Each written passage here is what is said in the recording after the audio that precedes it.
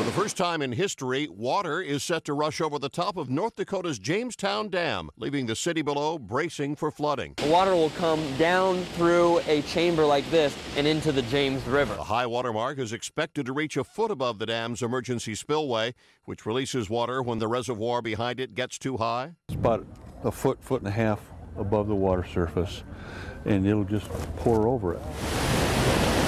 Like that 100 year flood, you prepare for the worst and hope for the best. The city of Jamestown is prepared for a rush of water with 600,000 sandbags. Engineers are on site monitoring the water flow. They expect the dam to hold, saying the massive structure was designed to battle a flood just like this. John Belmont, The Associated Press.